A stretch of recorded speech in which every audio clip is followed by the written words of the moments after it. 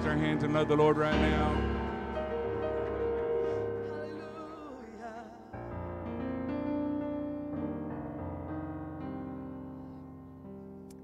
There's a lighthouse on the hillside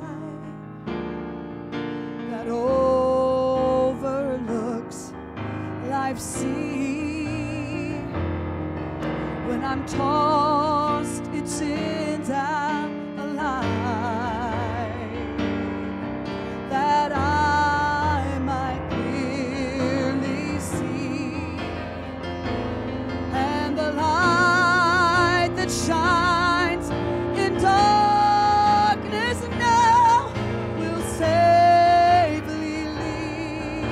us home.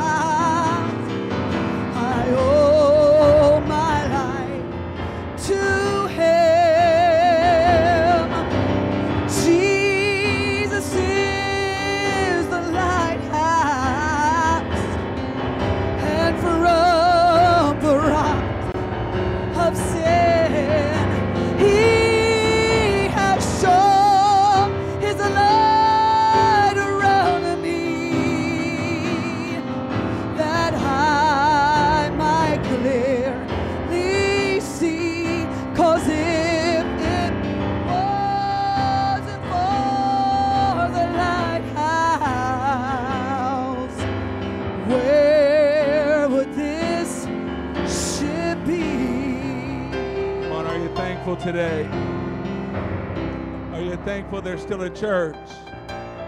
Are you thankful there's still an altar? Are you thankful for the people of God today? Hallelujah.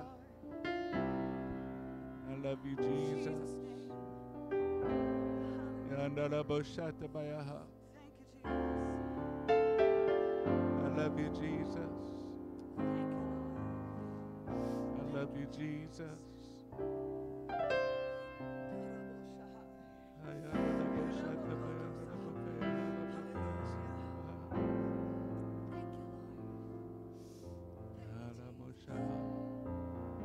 on. How many remembers the night you first came to God?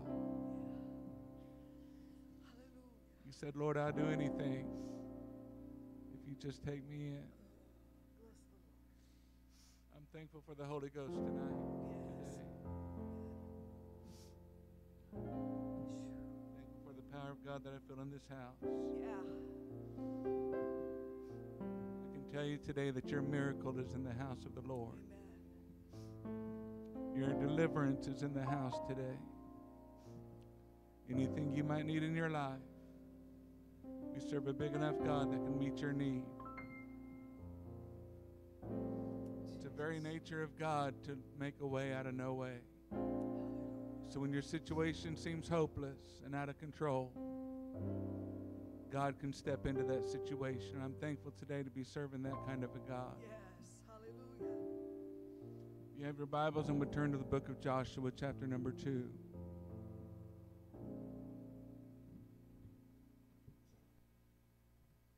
I love you, Jesus.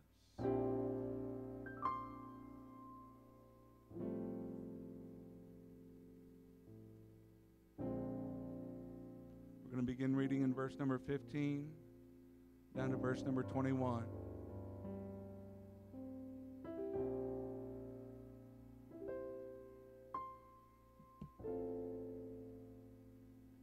Then she let them down by a cord through the window, for her house was upon the town wall. And she dwelt upon the wall. And she said unto them, Get you to the mountain, lest the pursuers meet you, and hide yourselves there three days until the pursuers be returned. And afterward may ye go your way. And the men said unto her, We will be blameless of this thine oath which thou hast made us swear. Behold, when we come into the land, thou shalt bind this line of scarlet thread in the window, which thou didst let us down by. And thou shalt bring thy father, and thy mother, and thy brethren, and all thy father's household home unto thee. And it shall be that whosoever shall go out of the doors of thy house into the street, his blood shall be upon his head and we will be guiltless. And whosoever shall be with thee in thine house, his blood shall be on our head if any hand be upon him. And if thou utter this our business, then will we be quit of thine oath which thou hast made us to swear. And she said, According unto your word, so be it. And she sent them away, and they departed and she bound the scarlet line in the window. Today I'd like to minister on this thought a thread of hope. Pastor Roman, would you pray?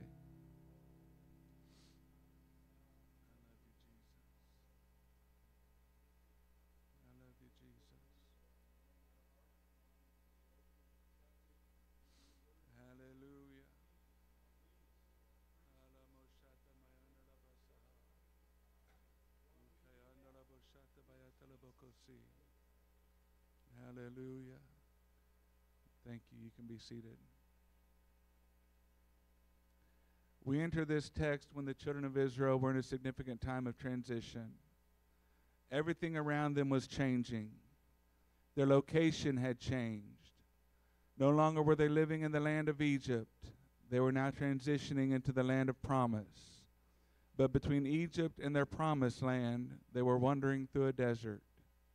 Now, I don't know about you today, but wandering through a desert doesn't seem very like very much fun to me.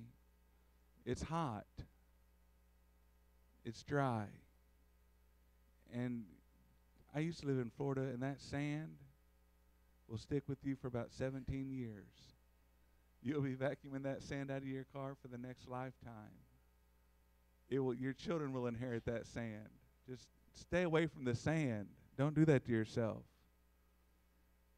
They were sleeping in portable housing. And the only issue with the place they would call home was they hadn't really seen it yet. They had heard of a land that had flowed with milk and honey, but the problem is they haven't tasted of it yet. The enemy had even changed. They were no longer facing Pharaoh and his army because they had been swallowed up by the mighty hand of God at the Red Sea. There was no soldiers, there was no chariots that were chasing after them any longer. Their social status had even changed. They weren't slaves no more. They weren't slaves to the land of Egypt any longer. They weren't beggars anymore. They had a little money in their pocket. They had some gold and some silver. Because God told them when they left, He said, borrow gold and borrow silver and take all that you can with you. They had some money in their pocket. They were becoming the head and not the tail, as prophesied by Moses and Abraham. God had brought them from a mighty long way.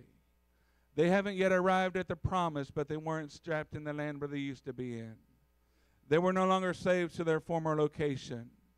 Is there anybody in the house today that can relate to that statement and say, I'm not where I'm going yet, but I'm sure not where I used to be? How many is thankful for a God that can bring you out? You may not be the finished product just yet, but hang on just a little while because one day your season is coming. You may not have arrived at your destination, but you're not a slave to your old dwelling place any longer. And the sin that used to bind you is now has no more control over your life. Their leader had now changed. Moses was dead. And this new up and comer named Joshua had no real war experience in war. He wasn't battle tested. He didn't carry a staff. He didn't have a, a, sword. He carried a staff. He didn't have a sword. He didn't have the battle knowledge that Moses had. Remember, it was Moses who stood up on the mountain and had his hands raised.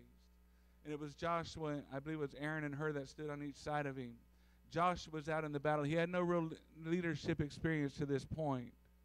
Nor did he possess the experience it would require to build a nation. All he had was faith in his God. And it's at this point we find the children of Israel in their first real test under this new leader. And the first city they had to conquer was a city by the name of Jericho. And Jericho, by sheer geography, was a city that was not easy to conquer.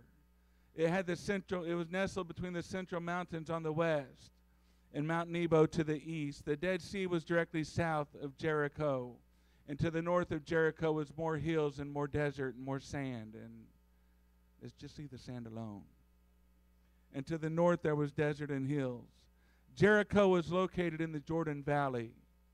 And the Jordan Valley is, is some Bible scholars say it's the one that the psalmist David was referring to when he said, Though I walk through the valley of the shadow of death. Some Bible scholars say that the Jordan Valley is that valley. And if these obstacles weren't enough, there were the walls. These walls of Jericho that were 24 feet high and 6 feet wide. These walls that had watch that had watchtowers that were 28 feet tall and 30 feet wide. These towers that were able to spot an enemy that would ever try to come their way. Everybody knew that if you was going to try to overthrow Jericho, you had to have a plan and you had to come prepared. Because if the mountains didn't wear you out, and if the desert didn't drain your energy, and if the valley didn't tear you down or break you, then surely the walls would break you to the point of discouragement. Surely the walls, the impenetrable walls, would try to get you to quit and throw in the towel. And here it is that we find ourselves where the Bible says that Joshua sent two spies to try and to, to find a way to defeat this city, to try and see if they could spot a weakness in the city's structure. And upon doing so, they would stumble upon a woman by the name of Rahab. Now, understand the Bible says that Rahab was a harlot and that she lived on the town wall. And I hope you understand today that people in Bible times lived according to their socioeconomic class. So when the Bible says that she lived on the town wall, she actually lived on the, the wall just outside of the town. And the Bible telling us is telling us that she had a very unfavorable reputation. Her family was the lowest of the low. You couldn't find much worse than Rahab. She was a marked woman. She was damaged goods, so to speak. She was a woman that society was cruel to. But something happened in her life that would cause her to live in a part of town that was known for trouble. Something caused her to live on the other side of the track, so to speak. Something happened in her life that rocked her world. Maybe her parents got a divorce. Maybe her mom was abusive or her daddy wasn't around. Maybe it was drugs or poor choices, but one thing is certain that this woman went very something went very wrong in this woman's life. Something happened to ha- had to happen to give her this bad reputation. You don't just choose that kind of lifestyle. You don't just wake up one day and say, "Hey, I want to live a life of prostitution. I want to live a life of beating my children." You don't just wake up to those things. Something traumatic happens in someone's life to pull them down that road. She was spiraling out of control. Things weren't working out for her, but one day As her life was falling apart, she met the people of God. I'm thankful today that when my life was falling apart, He knew where to find me. I'm thankful today that when the landscape of my life was difficult for me to navigate, He still knew how to reach me. Aren't you thankful today that when you didn't know where to go or know what to do, there came a knock on your heart saying, "Hey, I know where I, I know where I can send you to." Aren't you thankful that your daddy's reputation didn't scare him away? I'm thankful that regardless of what my mom may have done, he still came knocking on my door. And I'm thankful that even though my life was in shambles, he still knocked on my heart and said, I got a plan for your life. And do you know what her, her response was to the people of God? She said, We heard about you. She said, We heard about your God. The whole city knows who your God is. Can I tell you today that your response to God really matters? She said, We heard about your God. She said, We heard your God can deliver. We heard your God can save, but will he save me? Will your God save my family? I want you to understand today this city is full of people that have heard of God. This city is full of people that knows who God is. This people is this city is full of people that knows where this church is. They've heard of the one God apostolic Jesus named tongue talkers. They've heard of Jehovah. They've heard of Jesus. They've heard of one God. They've heard of baptism in Jesus' name. They've heard of living a holy, godly life. And they're just waiting on somebody to come and knock on their door. There's some single mamas and depressed daddies in this city that are waiting on a man or woman of God to share the gospel with them. They've heard about the miracles. They've heard about the deliverance and they're waiting on somebody to knock on the door of their life. There are still sincere hearts in this city crying out to God. I remember the night that God began to deal with my heart. I said, God, if there's any way you can get me out of my situation, get me out of my situation. And the very next night at work, living in Venice, Florida, a man came into the restaurant and he said, Son, God wants me to tell you something. I tell you today, there's still people that are praying that prayer right now. God, if you're still alive, God, if you can hear me, God, if I'm not even good enough for you to hear me, will you please do me one favor and change my situation? There are still people in this city that are going to bed every night crying out to God and waking up every morning to a hopeless life. There's lost loved ones, there's backsliders. The people of God said, Rahab, there's only one way to be saved. There's just one way, Rahab. It's one thing for you to believe. It's one thing for you to know about the people of God. It's one thing for you to know who we are. But there's really only one thing you can do to be saved, Rahab. You have to take this scarlet line, you have to bind it to your window. I'm glad you believe in one God, but now you got to get baptized in Jesus' name. I'm glad you've been baptized. Now you got to get the Holy Ghost. I'm glad you have the Holy Ghost. Now you got to live right. You've got to take this sign of scarlet thread and bind it to your window. And when you see when you lived on the town wall, understand today that when you lived on the town wall, the windows of your house had bars on them, or something that resembled woodwork like lattice. And you'd have to, she would literally have to take her hand and run it around that bar with that scarlet line, and with her other hand, reach through it and pull that cord through over and over and over again. She would have to reach through the very thing that was keeping her bound. She would have to reach through the very thing that was imprisoning her. She would literally have to reach through those bars and pierce through the thing that was keeping her inside. Bar by bar. With the thread, she would pull it, she would push it through with one hand, and with the other hand, she would pull it back in. Over and over again. You know, I'm thankful for a God that can deliver you in one instant of time. But when He doesn't deliver you, that's when you have to do the work. Understand today that when God doesn't deliver you from the needle, that's when you have to walk away from the needle. When God doesn't deliver you from the bottle, that's when you have to walk away from the bottle. And through your obedience, your deliverance will come. I can just imagine Rahab as she tries to get this cord in place into the most visible place possible. She wasn't worried about it matching the decor of her house because her family was at stake. She wasn't concerned about it matching her, pla- her dwelling place or her living because the fate of her soul was at stake. Her family was held hostage behind these walls of misfortune. And when the city was on lockdown, nobody could go in and nobody could come out. They were stuck. Unless somehow God worked a miracle. Can I tell you today that God still works miracles in people's lives? God is still a miracle working God. With every reach, she was separating herself from her past. And every time she would try to pull that cord back, she was pulling herself out of her situation. And every time she would push that through another bar, it was farther and farther away from her past until she was all the way complete. With every tug, she was changing her future. With every tug, she was changing her legacy. Can I tell you today that the Hebrew word for line in this passage is pronounced tikwat? And it literally means expectation. It literally means the thing which I long for. In other words, the people of God were saying, Rahab, you might not be much today, but if you will just somehow take and bind this hope, bind this thing that your soul is longing for to your window, one day things in your life are going to be different. She had come to a place in her life where the only thing that mattered was the salvation of her family. She said, I may have made shipwreck of my life, but I'm not going to miss my moment. I'm going to reach out for hope today. My dreams may have been crushed, but I've just got to believe one more time that He's not going to let me down. Because hope maketh not ashamed. And the shame in your life can be overcome by your hope in the Lord and Savior Jesus Christ.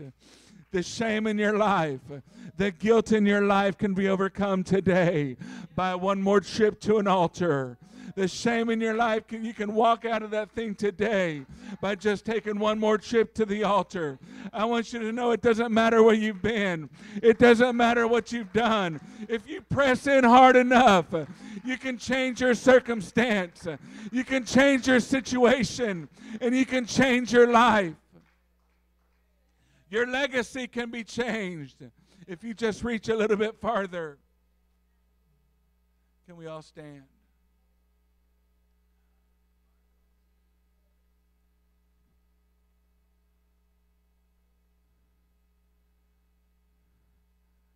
Rahab reached just hard enough to pull herself into the lineage of Jesus Christ. Her son was Boaz. You may have heard Boaz. He married a lady named Ruth. She pulled herself up hard enough that she was no longer the person that she used to be. In Matthew chapter 27, Bible said, Then the soldiers of the governor took Jesus into the common hall and gathered him, unto him the whole band of soldiers. And they stripped him and put on him a scarlet robe. And when they had platted a crown of thorns, they put it on his head and a reed in his right hand. And they bowed the knee before him and mocked him, saying, Hail, King of the Jews. And they spit upon him and took the reed and smote him on the head. And after that, they had mocked him. They took the robe from off him and put his own raiment on him and led him away to crucify him. I just believe today that when they put that scarlet robe on Jesus, you know, you can't have a robe without a thread. I just believe when they put that scarlet robe on Jesus, that he was looking back through the portals of time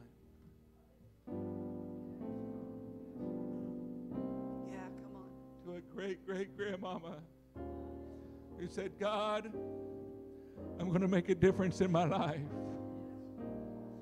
God, I'm going to make a difference in the life of my children. I just believe that he could look back and see his great great great grandma. And she was stuck there on that wall, reaching through those bars, saying, If I just have one shot, I'm going to give it everything I have. If I have one opportunity, I'm going to make it with all I got. Because tomorrow isn't promised to no one.